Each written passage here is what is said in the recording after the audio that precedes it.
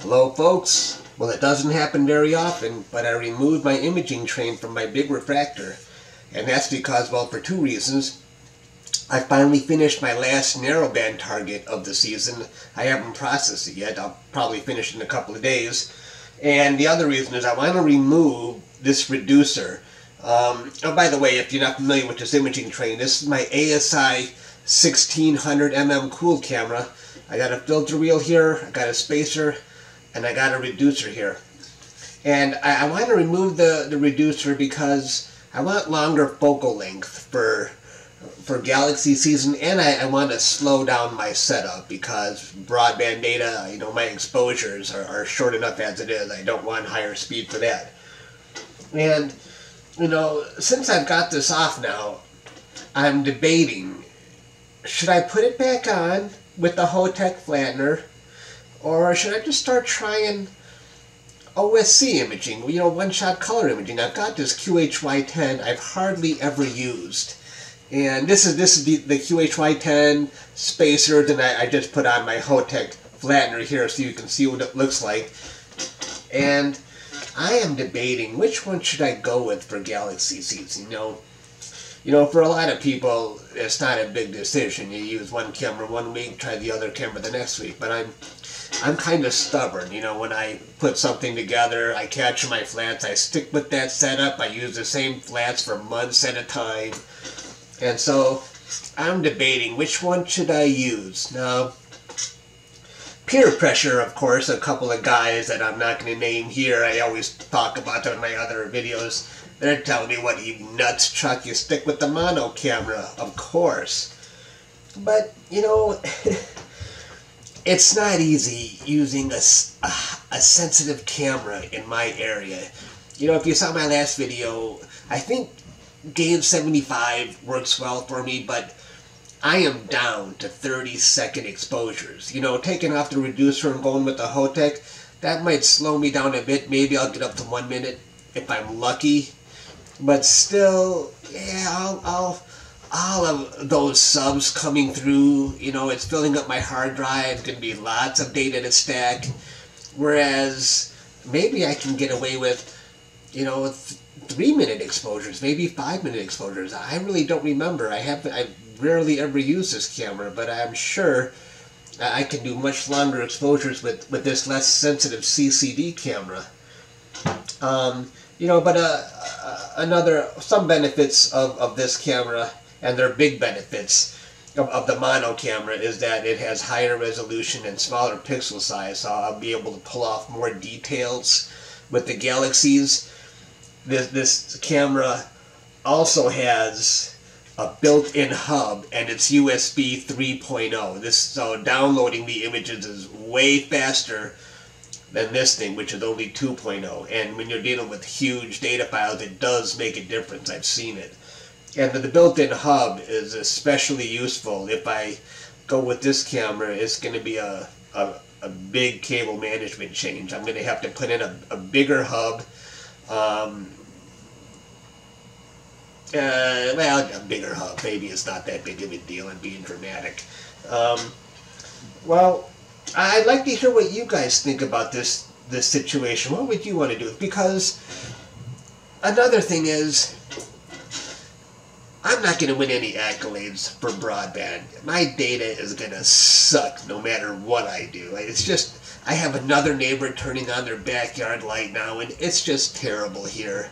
And, you know, if my data's not going to be great anyway, why not just have some fun and play around with one-shot color?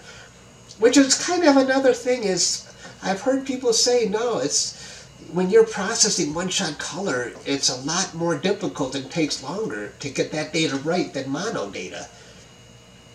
Now, it, well, I'm thinking, well, wait a minute. I'm dealing with four filters here, stacking four filters, working with each filter, combining them all. Maybe they're talking about once all the data is stacked, combined, at that point the mono data is easier to work with than this one-shot color data because the, the processing that leads up to it, definitely a lot more work goes into this. Um, come on. and what else do I want to say here? I'm just curious, what do you guys think? What would you guys do? You, you're not going to win. Forget winning any accolades. I don't even care about that. I just want to have fun. You know, I'll get out my accolades with with narrowband and solar imaging. I got that covered. Um, uh, what else I want to say? Well, that's all I've got to say. What, what do you What do you guys think? I, would really like to hear your opinion because I'm sure I'm forgetting some points here, and I want to hear what um, everybody thinks, not just the two guys I keep talking to all the time. Oh, and one more thing. I actually have a a narrowband filter. I mean, not a narrowband. I have a light pollution filter buried deep into here. This is kind of an interesting setup. It had to. It took me a while to think about how this would go together. And if you if you want to stick around, uh, I'll show you how I how I, I would set this up if I were to use this on my refractor. So uh, anyone else who doesn't want to see that, uh, thanks for watching, and I will see you later, folks. Okay, so uh, let me show you now. Normally, um, this is a forget that I have a, a, light pollution filter buried deep in here. Um, I've got the camera. I've got my spacing between the Hotech and the camera. That's the required spacing. I think it's 55 mm of spacing. Uh, or maybe less because there's some spacing here before you actually get to the sensor. Um, but anyway, what you would normally do is in a setup like this, I have a 2-inch focuser. This is the 2-inch filter right here. I would actually, oh, I would actually put um, an extension tube onto my Hotech. Normally, the Hotech comes with its own self-centering, uh, a rubber self-centering system that you could put in the telescope's draw tube. But from my experience, it is such a piece of junk. Let me tell you, it kept that rubber kept getting stuck in my draw tube. It took forever to get out. So, and it wasn't easy taking it off of this flatter either. I really had to rip it apart. And once I did, I threw it in the garbage, never to be seen again. You know, that's what I would recommend. Don't use it. Um, it maybe you'll have better luck, but I, I had terrible luck. I know someone else had had terrible luck with it. And this, this draw tube, or this extension tube is actually, it came with my Orion reducer, but it can be used here too. So I would put this on the, the Hotech, and then I would thread on this 2-inch light pollution filter, and then stick that in the draw tube. And that's if, though, you have a compression ring system set up. I don't have a compression ring I all my stuff is threaded, and I can't use this because my two-inch filter is not threaded in front. It wouldn't I wouldn't be able to thread it on, so I can't use a two-inch filter unless I haven't looked unless they sell two-inch filters that are threaded on both the rear and the front. Do they have those? I never looked. So for my system, I wouldn't use a two-inch filter, and I wouldn't use this extension either. I would only use this, and this is threaded, and this would thread right onto my draw tube because I'm all threaded. So where's my filter? Well, where's my light pollution filter? It's not here. I'm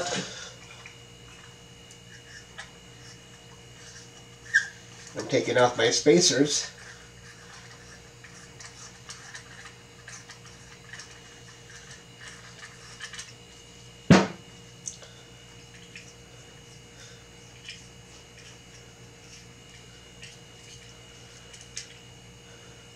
I have a 1 inch, a 1.25 inch light pollution filter in there. Um, and how I got that in there is, uh, I'll show you.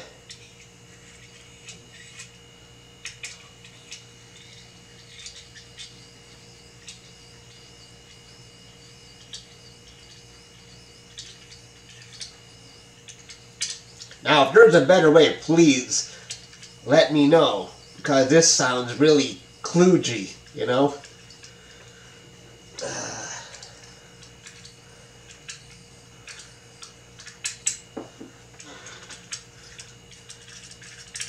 I buried it deep in there because I wanted to get, since it's 1.25 inch, I wanted to get it as close to the camera sensor as possible. There's the filter, a 1.25 inch. I wanted to get it as close to the camera sensor as possible so there's less vignetting.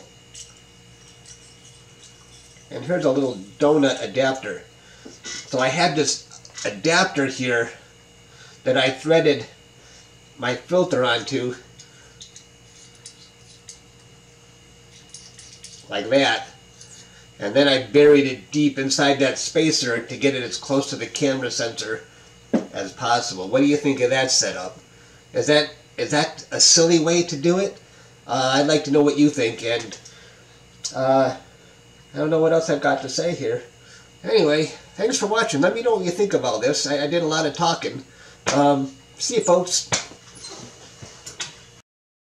I have finally removed Okay, here's my first screw up.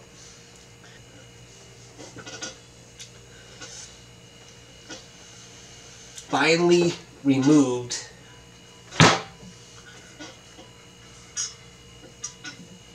But anyway, um, I give up. Hello, folks. I am back in front of the camera. You know how much I hate doing this? Nope. Nope. I don't hate doing it, I'm just kidding. I want to remove this reducer. We're already in the middle of galaxy season, and I thought if I remove the deucer, remove the deucer, remove the deucer,